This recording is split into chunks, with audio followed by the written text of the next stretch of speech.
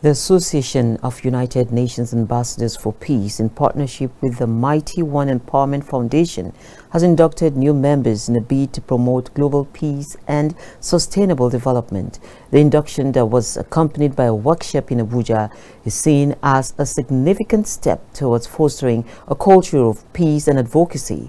Our correspondent Victoria Ayorinde, who attended the ceremony, brings us more. The induction ceremony held in Abuja by the Association of United Nations Ambassadors for Peace marked a significant milestone in the association's effort to foster a culture of peace and advocacy. The new members, comprising distinguished individuals from various walks of life, have pledged to uphold the values of peace, tolerance, and understanding. Seeing me being one of the uh, uh, peacemakers of the globe, so that gives me so much uh, happy. The role that we are going to play here is just simple to be an agent of uh, peace in the society, to reach peace to people, to let peace reign. This one has caused me to do uh, my dreams are going to fulfill it. Present at the induction is the representative of the Director General, National Orientation Agency Charles Iwanchukwu, who reiterated the agency's commitment in upholding the value of peace in Nigeria for the nation's well-being. He also reviewed the agency's support for the association. This association, the goals and the objectives are intended with the goals of National Orientation Agency. National Orientation Agency preaches peace. And moreover, at the present uh, situation in the country, this is the highest time we need peace in the country. So National Orientation Agency will support this organization and any other intended organization to collaborate with us to preach the gospel of peace. Because if there's no peace, there will be no development in the country. And globally, if Nigeria is looked upon to be the giant of Africa, if there's no peace in this region, it will affect the entire uh. Ambassador Emmanuel Emeka revealed that the induction of the new members is a crucial step towards achieving the goal of promoting peaceful coexistence in society. He charged the newly inducted members to stay true to the mandate of the association.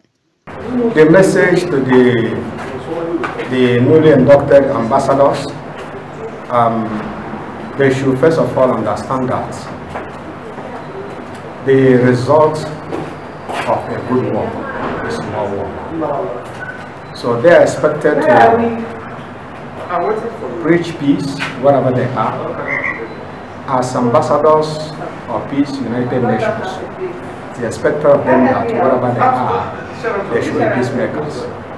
They should build people and incorporate peace in the life of people around them. So they should also engage themselves in a conflict resolution especially in our society today, we needed people who are very truthful, transparent, humble, and sincere.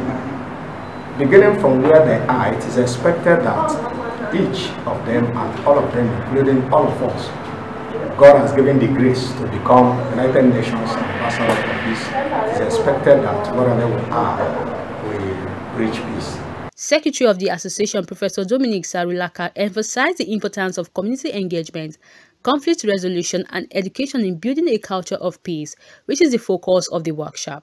We decided today to encourage them and to grant them free training, free technical workshop on how to improve on uh, volunteerism, promoting and building peace in the rural communities, and then aiding community development.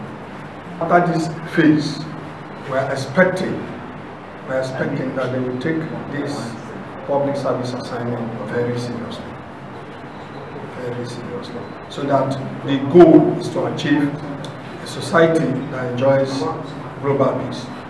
And a society in which development is speedy and rapid by all dimensions. Leaders of the association see the induction ceremony and technical workshop as a demonstration of the association's commitment to promoting global peace and sustainable development.